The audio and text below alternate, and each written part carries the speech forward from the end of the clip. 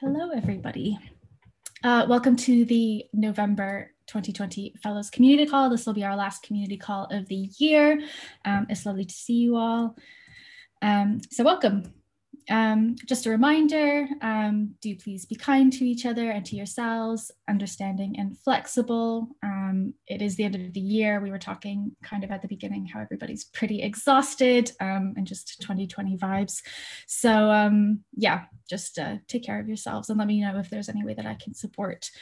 Um, but we do have a code of conduct for these calls. So if you have any issues, oh, it's linked in the in the notes document. but if you do have any issues, uh, you can report them to myself or Shoaib.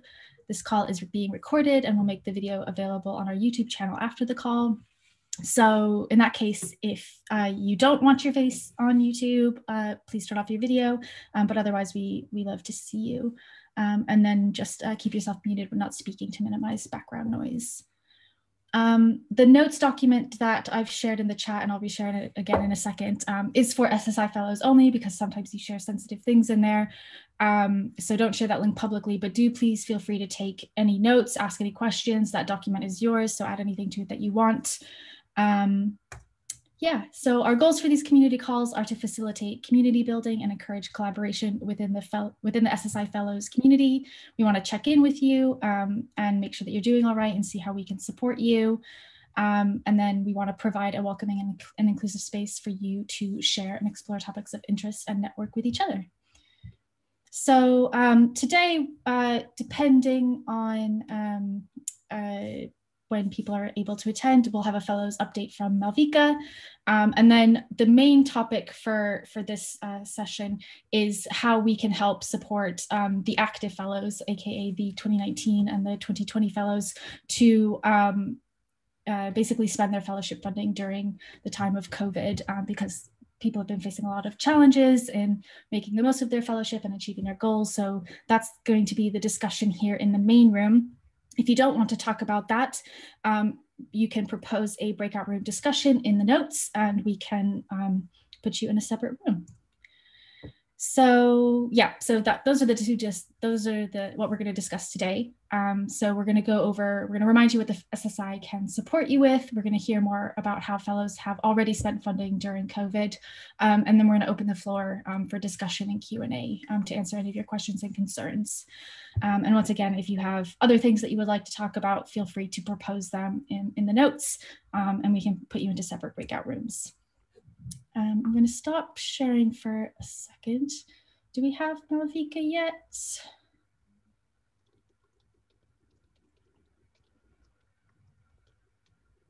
don't think so. Oh, do you not have permission? If you, do, have you tried refreshing the notes, Sarah?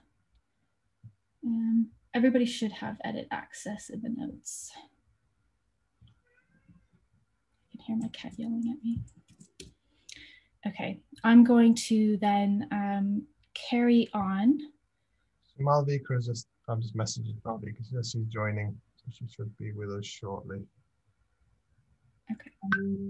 I guess then, um, if we have a moment, uh, did anybody else have any um, separate breakout room topics that they wanted to propose, or is everybody pretty much here for the um, how we can support fellows activities um, to go online and various things?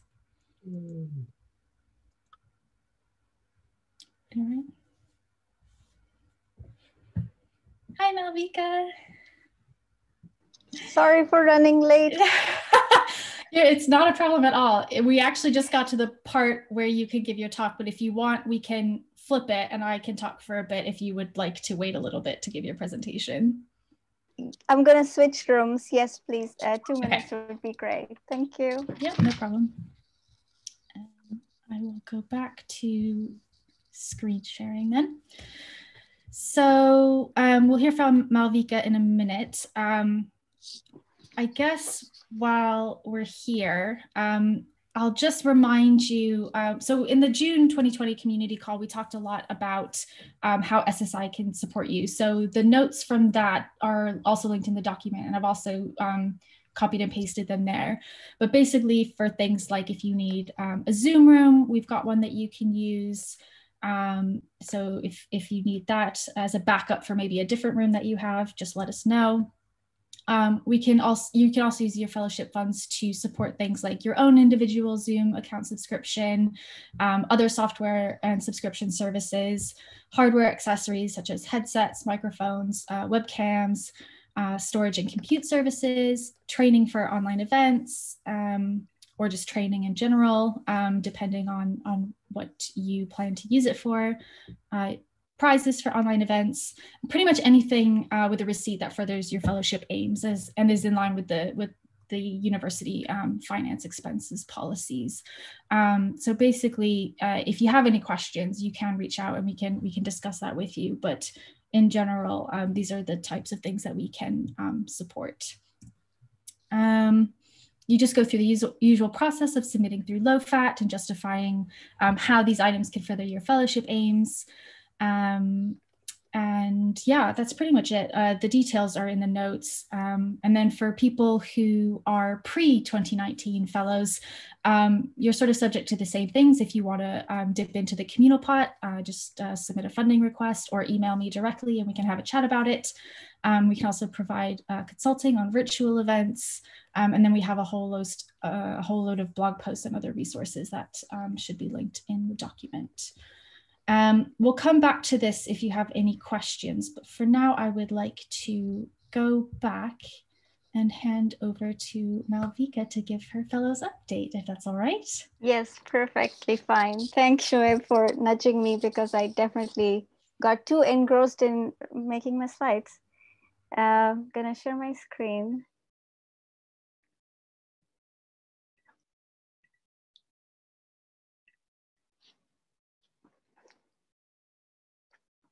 Okay, um, I'm very excited to give my updates because I think I have definitely benefited a lot with uh, my SSI fellowship. So first of all, I'm part of 2019 fellow group with these wonderful group of people. And I really, really am proud of the fact that I'm part of the cohort that has about 80% women. Uh, that's that just still blows my mind. So that's amazing. And Rachel is uh, my co-fellow. Um, what I want to show in terms of my update is basically thinking back on why I think my fellowship has been successful and how I can help you spend some money. So, first of all, life happened, and the plan that I had proposed for my fellowship did not really fully pan out. The reason was that I uh, applied for fellowship when I was uh, deep into my bioinformatics research, and I wanted to uh, have um, some sort of bioinformatics training platform. Um, but then I changed my field. I went into data science, abandoned bioinformatics. But what was really good that I had aligned my fellowship with the focus in terms of my role as a community manager and what I wanted to continue doing in uh, the next five years. And those three ideas were that I wanted to develop open source central learning resource for peer-to-peer learning so develop something that can enable people to just build sort of a network that they can learn from each other. I wanted to reduce learners dependencies on training activities that are organized centrally by advanced researcher because in my field that was a huge problem. And the third was how can i enable smaller life science communities to grow engage and sustain in the long term so even though these ideas were first built for bioinformatics when I was switching my job and career completely, these three stayed because this was something that I feel personally quite aligned with and passionate about. So coming back to what we all have from SSI as fellows, uh, we get allocated a small funding of 3,000 pounds. And we also have this collaborative element, which is an access to the network of brilliant fellows uh, we can invite and collaborate with them on different projects and we can uh, basically highlight our side hustle uh, proudly. Because uh, when you can tell your supervisor well i'm you know working on my ssi fellowship project this could be anything that ssi is supporting you with and as long as they're happy with it you're you're basically doing work which is aligned with your job. And finally the opportunity for self promotion i think the the job that I have now, I'll quickly talk about that in a bit. But I feel like if I did not have SSI fellowship, I would have less um, eligibility because I used to work in Germany And my only connection with the UK was SSI Fellowship and Network. And my current job uh, definitely uh, thought that that was valuable for them. So, and also I have to tell SSI folks that you're doing brilliant job in advertising because my partner wears that t-shirt and advertises me literally every second week. So great job on that. Um, so this is how my account looks like right now. I have been very successful at spending that money and I'm gonna tell you how to do that for you. But I have to say that this is not a lot of money. Um, and I don't think a lot of you come into the program for money, but this is enough money that requires you to plan and take actions. Because if you don't plan ahead uh, you wouldn't really know where to use them. And my uh, actual use of this money is how i have combined them with the collaborative element and amplify the impact that i've had with these. So i'm going to show you actually where i have spent that money. To first start with um, make use of what we as fellows have. Uh, so I we, I had the fellow inaugural meeting, and uh, we also get invited into collaboration workshop. And uh, I think even in the COVID world, collaboration work workshop is designed in a way that we all get involved. We have chance to talk to each other and work collaboratively with other fellows. And I think this is extremely valuable. Um, so though this did not require a lot of money, uh, it did have huge impact in how I got to know other fellows and how I later on built relationship with them. So make use of that. Um, second is the project that I have used a lot of my funding is Open Life Science. Um, so I work on Open Life Science with Yo, who's another fellow um, of uh, SSI. And we worked on this project for very long for free. We don't uh, have huge amount of money. So Open Life Science is a training and mentoring program, which we run for 16 weeks where people come in with their own project and they build their own project with the help of training and mentorship support. So this is a 16 weeks commitment, which means we require people, we as a project in Open Life Science require Zoom account uh, or we require application platform. We require some small fundings here and there uh, to pay for some subscription, which if we didn't have access to SSI, we will be paying from our own pocket. Um, other thing that also has helped in open life science is that we, we have a huge uh, cohort of mentors and all these, not all these mentors, a lot of mentors actually come from SSI. So for example, Andrew, uh, Patricia, Rachel is an expert there and we have you uh, again. And all these people have been instrumental to the program. And first of all because they bring their personal passion and experience into the program but also we had run the mentoring skill uh, which is a very expensive uh, training which is professional training offered by external consultancy and none of us can individually pay for it uh, and in this case, Andrew, for example, stepped in and he uh, he spent a part of his SSI fellowship to support this program. So again, coming back to that, this is not a lot of money, but if you're combining uh, your power together with other fellows and building a project together, you can actually see that there is an amplified access. And at the same time, Yo, who has actually has finished her fellowship, she can still go back to SSI and write in proposal in terms of uh, community related work that she's doing.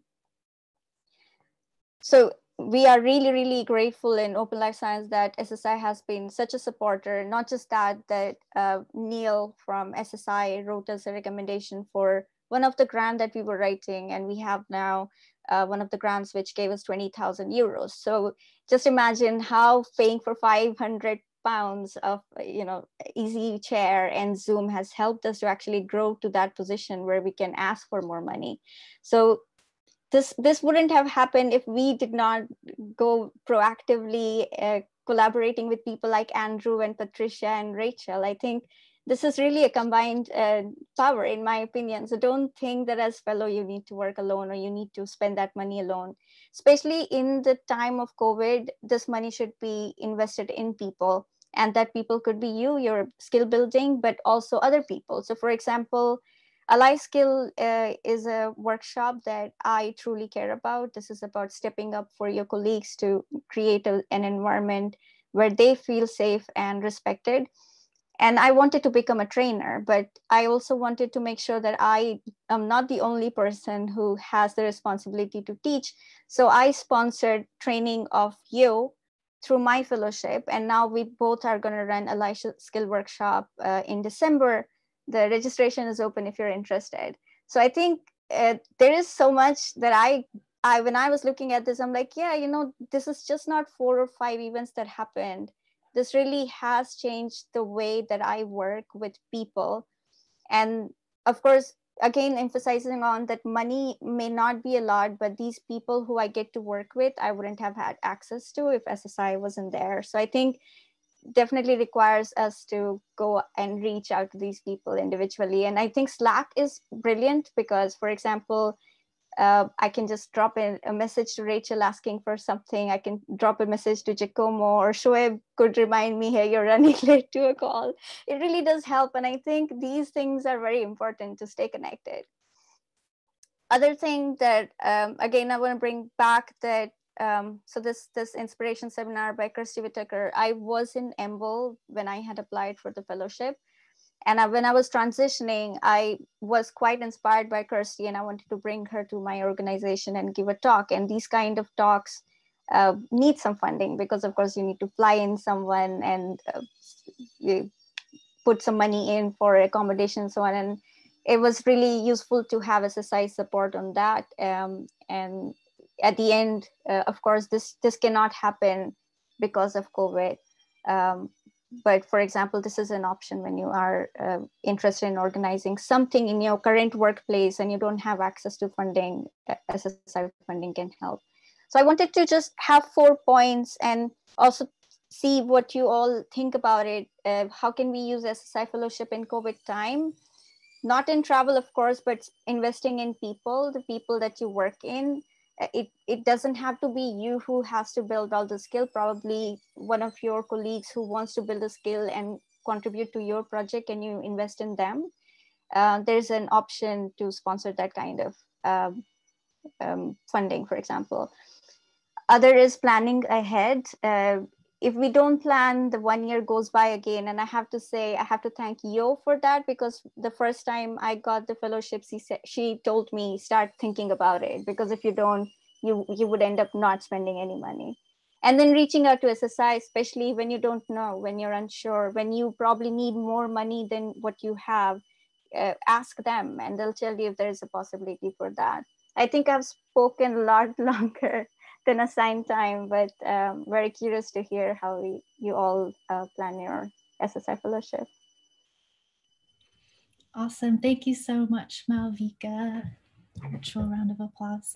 Um, no, that's that's super useful. So, um, and you're our only speaker today, so we're very glad that you could come in and share your insights.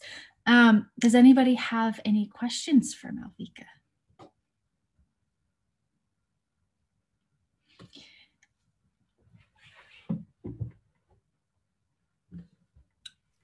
Hi, Malvika. Thank you for the presentation. Uh, did your plans change at all in relation to the um, in relation to it? Did you have to switch course due to that as well as your career change?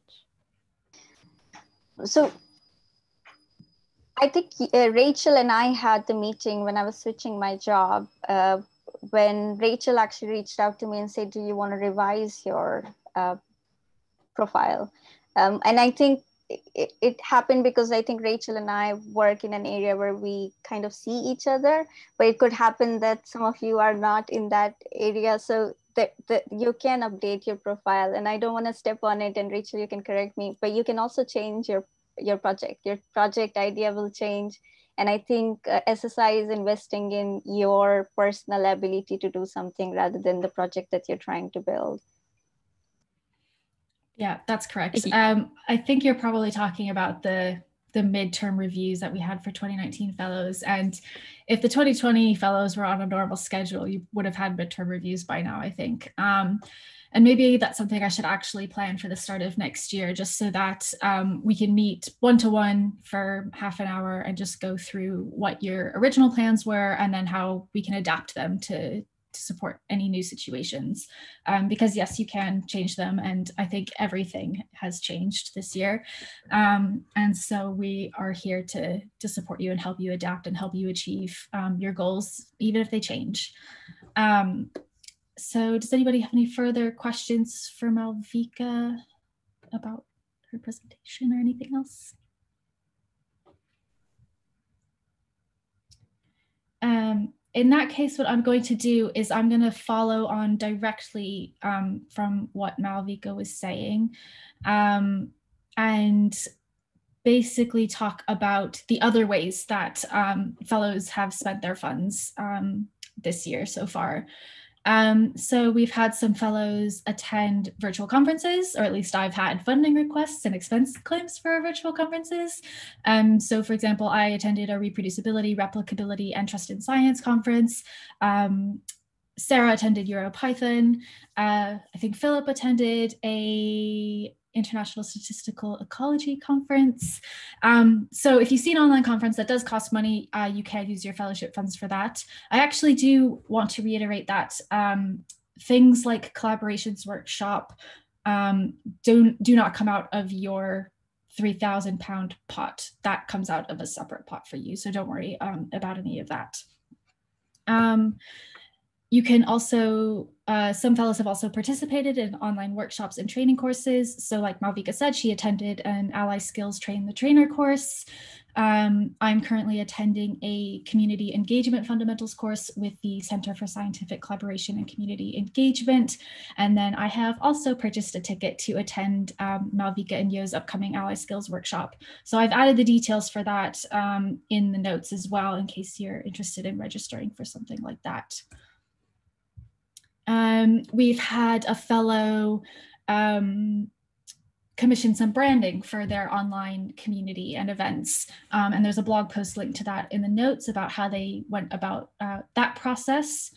Um, we've had fellows who have organized and facilitated online workshops or training courses. And th that's pretty much what, what Malvika talked about. Um, they organized the mentorship skills training workshop, um, as well as uh, the ally skills workshop coming up.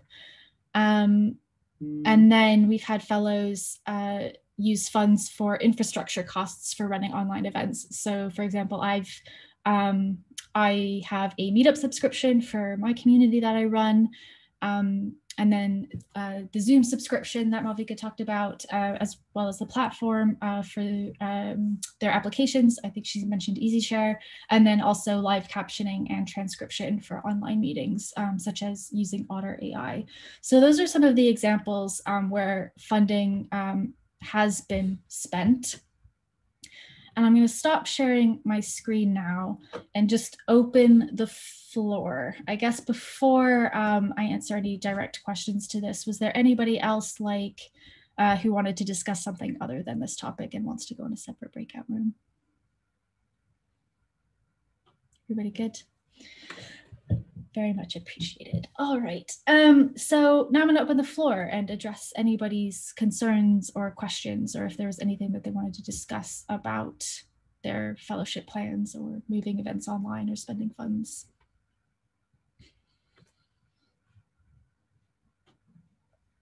or if anybody has further advice. Oh, go ahead, Sarah. Yeah, sorry. Um, so my, um, I've been one of the few lucky ones actually that um, my plans didn't change in spite of COVID because the conferences just moved online. And if anything, it saved me more money and the very gracious extension to the deadline probably means I get to do all of those conferences again next year. Um, but another, the other half of it was um, a workshop that I plan to run in combination with yourselves and the Turing Way as well.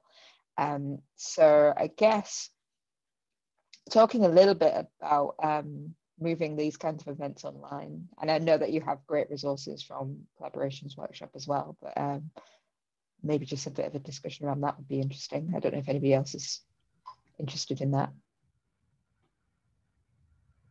Yeah, so things that we could support um, in that instance is um, things like if you wanted to use a platform other than Zoom. So there are lots of other really cool um, conferencing platforms out there.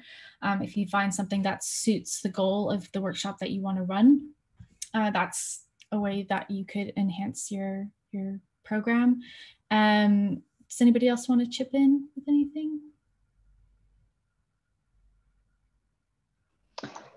Um, could I like buy Azure credits? So, for example, I would either run a put your lesson on on my binder workshop or deploy your own binder hub workshop.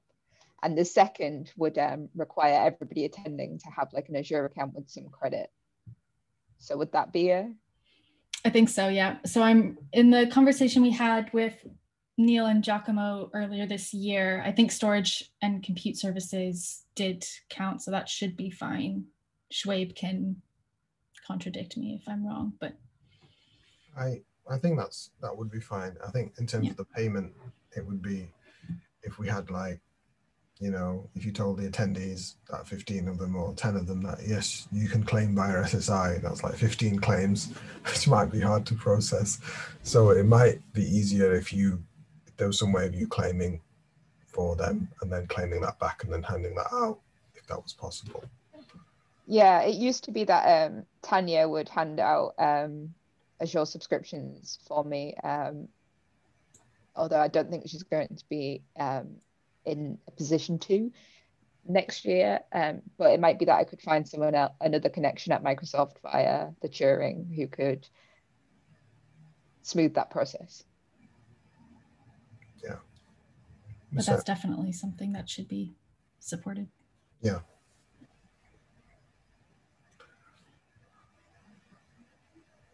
I mean, are This is a. Sorry, go ahead. I was going to ask an off-topic question, so I think um, after you, Shoaib. I was just going to say, are there people on the call who've got plans who are thinking, well, the only thing I can do is the, I'm going to wait and just do this when it's okay to do it face to face because I want to do it face to face. Um, you don't want to really envisage doing anything online, um, which is okay, but it's it's good to know what people are are thinking in that sense. Um, what is is there a, any feeling amongst people that we'll wait and see? Um, Yeah, so I I think not not necessarily because I'd prefer to do things in real life, but um, like my feeling for for most of the time since February has been that I'm just extremely against the wall with catching up with like real work in a sense, and and that kind of we as an organization have been completely thrown by the lockdown and like loss of our field work and whatever um, that like I'm only now completing projects that were due six months ago, and so kind of everything has fallen by the wayside. And so I, I would, I wouldn't mind doing things online, but I've just simply not had any uh, time to to not firefight for much of this year, uh, and so that would necessitate waiting. Um, that's good to know. That's good to know that people are there's a set of there are people who are waiting uh, and uh, you know until it things clear up, and then they'll use their phones. Thanks for sharing that. Philip, that sounds very similar to my year. So solidarity, at least. It's not much, but yeah. yeah i just want to reiterate that um, a lot of a lot of people do feel the same and i know that um, even with these calls sometimes i struggle with it because i'm just like do i want to offer another zoom call or people burnt out which is try why i try to keep them as informal as possible because i don't want it to be too structured um, and too much of a burden but we also want to offer a space where you can come and get support for these sort of things. So um yeah completely understand that. And um sorry sorry that everybody feels like they have to firefight 24 7 hopefully um things will get better soon. But yeah we just want to emphasize that we don't want this fellowship to be an added pressure. Um like we'll extend if we need to extend. Um and we're here to help you um, achieve your goals Emily, did, uh, did was that sort of already what you were going to ask before? Did you have another Yeah. question? That was kind of leading on to my point, I guess it was uh, directed to you, you and Malika, because you guys have experienced building community. How do you go about looking for, I guess, mentors for your application, uh, for your platform, or like collaborators who will work with you? Because I recently joined a new institution and had an idea for a group, and then I got kind of too much interest, and then I felt a bit overwhelmed, and I was like, I think I'd feel a lot better if I had somebody else in it with me, and I'd feel like a lot more capable. Um, yeah, I nearly accidentally founded a society and had to be like, oh no, I have real work to do as well. So I, how do you go about finding um, like collaborators or like similarly minded people? I honestly do not like working alone uh, on anything. And ever since I've known that there are other people who are better at stuff than uh, me, I kind of trust them a lot. And I have to say, asking for help is very difficult, but that's the only thing that works. And uh, write, writing private emails are better than uh, open invitation on Slack uh, because you can target people and talk to them more individually. I um I did not take name of Jez and Sarah, both are mentors as well in the OLS, and and I think um, I think I I would definitely say this is something I wanted to ask Rachel about, and I think Emily, you're right that maybe we've done it so many times that we forget how hard it was the first time around, um, and how we can actually support these kind of activities for other fellows. It's a, I don't know, Rachel, if you've thought about it, if we can uh, for example, let me give an example. If you want to organize something and you feel that you're very alone in organizing this and you can use some help, how will you reach out to the fellows? I wonder if there is any plan around that.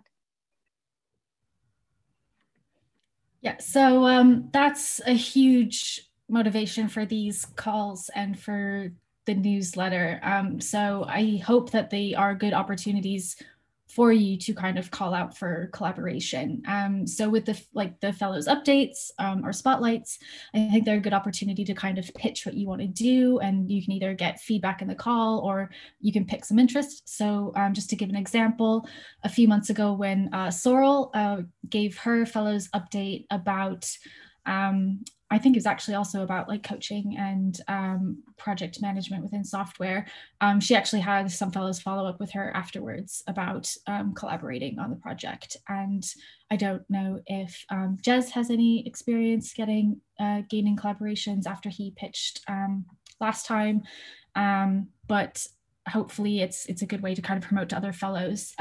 also, if you want to arrange a, a meeting or a call with me on like an individual basis, I'm happy to kind of talk things out with you. And then since I have an overview of the fellows and Shoaib as well, like we can kind of help you identify people who would really suit kind of that particular project that that you're looking for help on. So um, does that answer the question? Yeah, that's waffling at this point. Thank you. no, no, that's perfect. And there's, you know, that the staff at SSI, they're quite connected to different networks, as well as the fellows are connected to different networks. So sometimes we can, you know, reach out to other people who might not be fellows, but who might be interested if we know are active and not in that area.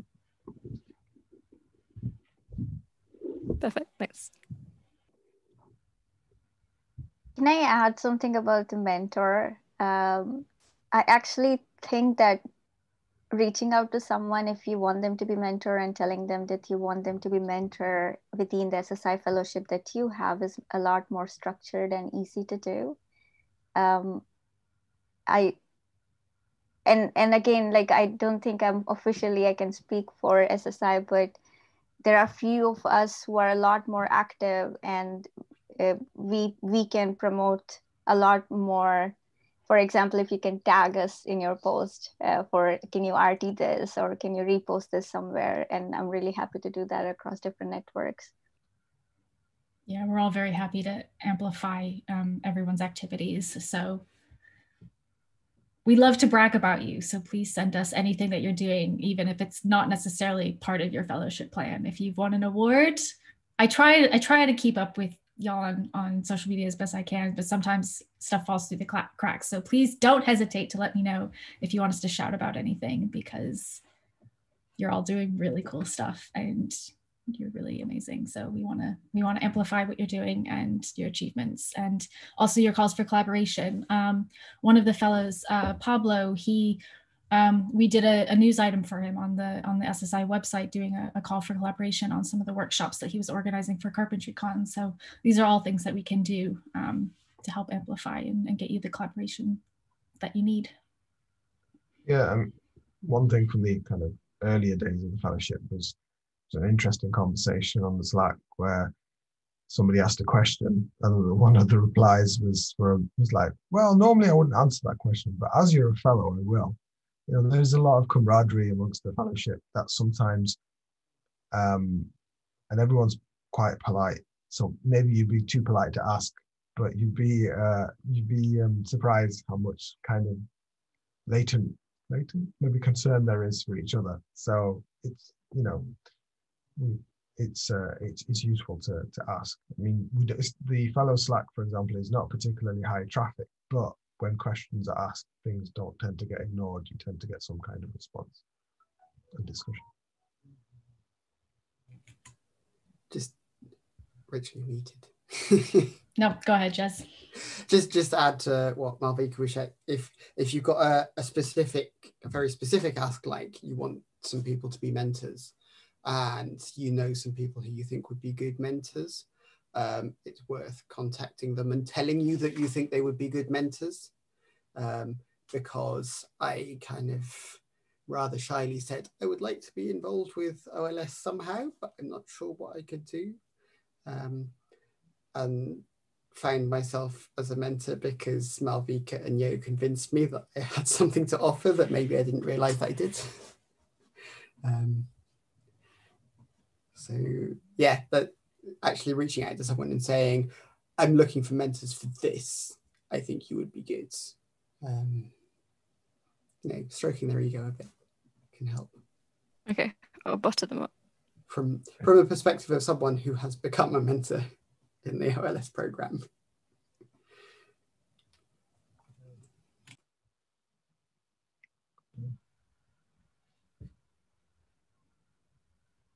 I mean, we one thing. I mean, maybe it's slightly off topic, so Rachel can tell me if it is or not. But one thing is that we are about we're formulating the fellows 2021 program, um, and there'll be some things going out. Is there um, is there any changes in terms of things that we should support that we should be more explicit about that you thought, oh, that you know now that wasn't so obvious back when you applied that you think we should highlight?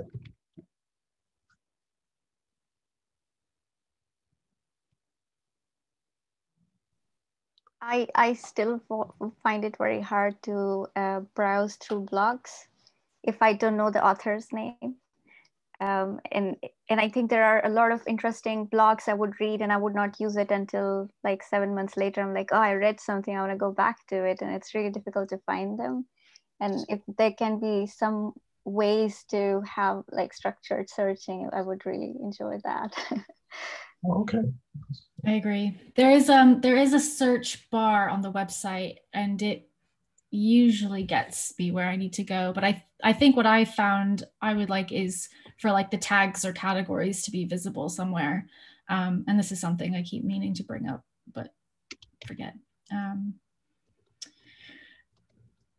um, yeah. On that topic, this has nothing to do with the 2021 program, but while we're talking about the blog, um, it would be really helpful if the full text of all the articles was included in the RSS feed.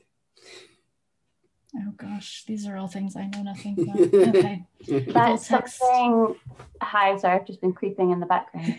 um, that's something that I've actually raised, so hopefully that will be getting added at some point soon. Fantastic, Jacqueline. Thank you. Thank you, Jacqueline. Um, it's actually less of an issue now when I'm like permanently bathed in Wi-Fi. Um, in the before times, it was quite frustrating to to be kind of on a train or something going through my uh, articles I downloaded and find out that all I downloaded was a sentence and a half. So we have about 10 minutes left um, and we can end early if that happens. But I just wanted to make sure um, if did anybody have any other questions, concerns, calls for collaboration or anything? Can be related to anything, can be related to spending your funding, it could be related to anything at all.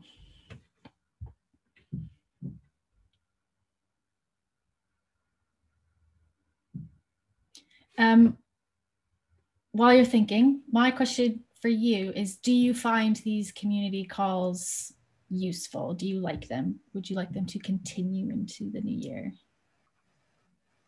You obviously don't have to come to all of them, but we're happy to offer them if, if they're something that you find useful. Definitely useful. Uh, I think I. Oh, sorry, after you. No, you you finish your thought. I interrupted. Uh, uh, quickly then, yeah, I really um, find them useful because I kind of um, maybe dropped off the face of the earth for a bit, and they're a nice way of kind of coming back into the community, uh, seeing people's faces again. So yes, from me. Yeah, I was just going to say that it's like really nice to just keep in touch with the community, even if we have a, like a session that's been today where it's been a bit smaller, a bit slower, a bit like yeah, it's the end of the year kind of vibe. Like this has still been a nice way to end the day. Yeah. Awesome. So Any other? Oh, go ahead, Shred. I know, uh, I don't know if this is appropriate, and, and Ed, you can tell me if you don't want to, but I know you've been working on some of the COVID response things. So I was just, I was really fascinated to, I don't know if I'm going to get an opportunity to ask you if you wanted to say anything about what you've been doing in the last. Um, yeah, sure. Um, what uh, did, was there anything specific that um, you were thinking about?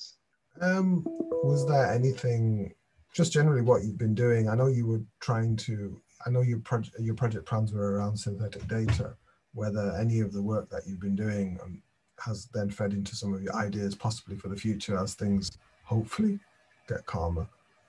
Yeah, yeah sure. So, um, I mean, I, I definitely uh, resonate with what uh, Philip and Emily have been saying. Um, that because I mean, uh, right at the peak, which feels like a long time ago now, or the first peak, I should say. Uh, I was clinically redeployed, so my my my life kind of kind of just everything got put on pause for a bit. Um, and then I've come back to my research and I'm in enormous catch up mode because I didn't do any research for three months. Um, but then um, we tried to, I've been working with um, uh, Kirstie Whitaker and a few people to try and uh, try and develop um, data assets that um, you know can help fuel uh, research in um, in coronavirus. and I mean, in, the one thing that has come up several times is accessibility to uh, accessibility to to data that you can play with um, that isn't subject to all of the privacy concerns of real clinical data. Um, so actually, my my fellowship has reared its head regularly through this process because that um, just to remind people, my my um, uh, fellowship pitch was about trying to create synthetic data uh, to support research goals where you know privacy constraints make sharing data very very challenging. Um, so um, so that I mean that, that data resource is is kind of now functional and analysts now have hands on on it. In fact, data was sent like this morning to some of the analysts, which has been really exciting.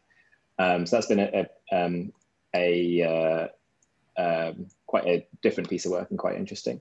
Um, but the um, I'm kind of trying to come back to this stuff now because I think the the the this, the case has been made quite concretely to some people who are involved in that project, um, which would allow kind of my fellowship to take to move forward a little bit in the new year, basically, because uh, I think um, there's now uh, a lot of a lot. Of, this has catalyzed a lot of people seeing the need for synthetic data to support these things. So hopefully, uh, it means that my fellowship can kind of kick off in a new year and I can get things back on track. Does that, did that answer your question, or did you want to know that's more? That, that's great. That's great. I know. I know Gary's put his hand up. I know Gary's doing some work in this area, so it'd be interesting to hear what he has to say. Oh, cool.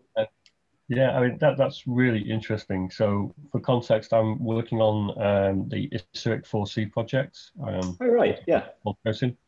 Um, so we have um, a lot of data um, in Edinburgh, and a lot of people wanting to get access to that data. Um, most of which is we, we sort of struggle with maintaining um, what's supposed to be a free and open access policy um, with the fact that we also have to balance that against the fact that we can't just give the data out. Um, and, and the fact that we're also all very, very busy. So bits of the process are constantly breaking, which is um, not ideal. Um, we're just about at a point where we've got safe haven set up, which is good from the perspective, I think, of giving people access to data. But I'd really be interested in uh, learning more about the sort of the synthetic data side and, and, and, could we sort of run our data sets through your processes to generate data sets that other people could use, as well as, you know, just generally sort of interested in what you're doing. This ties into what I'll be doing in the new year as well, actually, because um, I've got a new job to establish what's called a sort of a data cooperative in Liverpool city region. Um, and we're sort of quite interested in how we produce synthetic data as a potential model for enabling small businesses, for example, to be able to sort of know what types of data are out there, what they can sort of do with it, and that kind of thing as well, as well as researchers to to to sort of enable um, um, people to be able to use this data, but without, like you say, get, getting access to the actual data, which is clearly quite um, private and sensitive. Yeah, I mean, I mean that sounds fantastic. That sounds like there's an enormous overlapping of the Venn diagram there, doesn't it? Um, yeah. So yes, I shall. I, um, I shall drop you an email if that's okay then. Yeah, of course. Yeah. Um, I think my I haven't bothered to put my email in the thing yet. I'll do that now. Excellent. Good. Thank you. Yeah, thanks. That's see, it is useful, and uh, I'm I'm I'm, a, I'm, an old I'm an old fellow. I'm from like 2017. I'm here kind of here going. It's, it's all good. I didn't have to deal with COVID. It was great. I, just, I think I went to Tel Aviv. It was fantastic. Um, so yeah, uh, I'll just drop my uh, email and uh, thanks. Awesome. This is what we love to see. All right, so I'm aware of the time. Um, if you do have any specific questions or any questions at all, please don't hesitate to drop me a line. Um, I'll just do some quick shout outs before we end. Um, so Collaborations Workshop 2021 um, registration is now opened. Hopefully everybody has received emails. Um, 2019 and 2020 fellows, we will cover your registration. So hopefully you've received a code from me um, to register for your ticket for free. Um, and then if you're pre-2019, um, if you need assistance uh, paying for registration, um, just submit a funding request via LOFAT or get in touch with me if that's easier. Um, and then Yep, and then Malvika's got an ally skills training workshop. Um, she's got two different times, um, and they're both. Is it next week, Malvika? I think next Friday. Yeah, it's. It's next Friday, one in the morning, uh, and another in the evening. They are both three hours long, and uh, registration through Eventbrite. I've got that linked in the notes as well. And then there are a few other things um, in case people need more things to do. Um, but these are all very, very exciting things. So um, it was lovely to see you all. Um, hopefully this uh, provided some inspiration for how you can use your fellowship to, to achieve your goals. But um, we're here to support you. Please don't be super stressed um, about the fellowship because there's enough to stress about as it is. So if there isn't anything else, uh, uh, have a great end of the year and see you in the new year unless you need to get in touch about anything. Thank you. Okay. See you.